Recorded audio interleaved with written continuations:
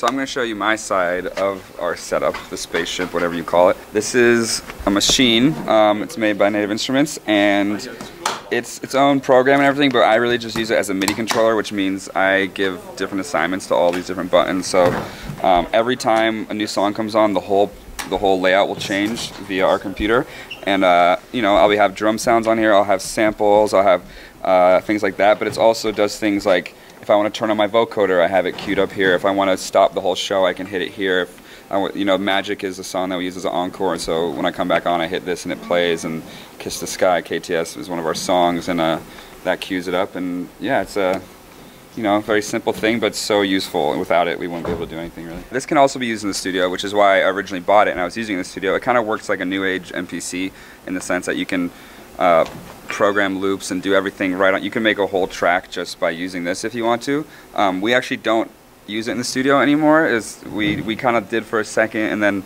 not anymore. But now we really just use it as a MIDI controller. Um, but it is a great tool in the studio if you're into that. This is my Little Phatty. This is like the thing we've had forever. Um, as you can see, it's a little beat up and worn down. But this is uh, how I play all the bass lines in our songs, and uh, I have my own presets on here. You know, it's the titles of some songs, Knocks Bass, R-O-Y-L, We Are Your Friends, all these different sounds that we've programmed that are saved. Um, this is because I'm a terrible keyboard player. This is for me to remember which notes are which in case I'm, you know, a little too drunk on stage and trying to remember things. Um, you know, and uh, yeah, this is, I mean, we use this in the studio too. This is on our rack used all the time in the studio. So this has been around a long time. We've had to get it fixed like three times. Um, not because it's a shitty piece of equipment, just because it's been around the world and back. This is uh, made by Moog, which is, you know, it's like a household name for electronic music and, and for mono synths in general. Mono means you can only play one note at a time, you can't do chords, um, but that's what makes the bass so fat and so special. And Moog has been, you know, they make arguably some of the best keyboards in the world. So this is my Roland SPD SX. I play this a lot in the show. This also got very banged up over time. This also, like my drum pads over there, change. The sounds change throughout the show, um, and I'll do everything from hi hats to snares to samples to cat like digital cowbell things. And again, I have my presets on here. You know, that's Knocks MIDI means it's just on MIDI mode. Knocks Classic is one of our songs. Dancing with Myself is one of our songs.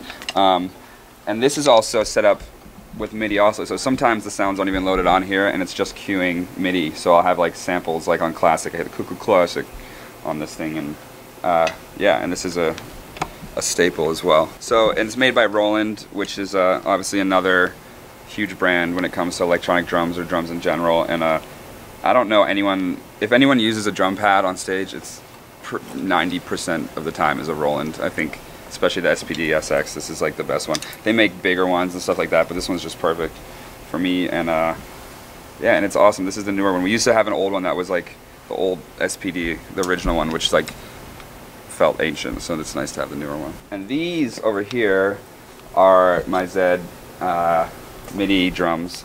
These, unlike the SPD, you can't load sounds onto them. They are literally just triggers. Um, and these have different sounds. Sometimes I'm hitting like these laser sounds, sometimes I'm hitting um, big 80s tom roll style stuff. Um, and these are fun because it's one of those things where no matter where you hit the drum or how hard you hit it, your sound is going to come out. So I can like just like really go nuts on it, and it like looks cool, you know, because you're banging them, and I don't know, they're just fun to have. And I got my these guys and my cymbals, and this is you know a little drum zone.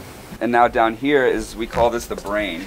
Uh, this is where you got these two Fireface, um, these RMEs, which are basically the brain of everything. All the audio goes into there, comes out of there, all the MIDI is controlled through there, our in-ear monitors are con controlled through here, and it's all running through Ableton on the laptop. Um, this is also our in-ear our in-ear packs. Um, but like I said, this is the not only the most expensive part of the whole rig probably, but the most important. If this thing dies, the whole show shuts off, which is scary sometimes, and it has happened. We've blown fuses before, um, but recently we upgraded and got two that are newer, so hopefully that will never happen again. But uh, we used to run literally off like a little like USB sound card thing, so this is a big step up for us, and it, it makes the whole show way more powerful.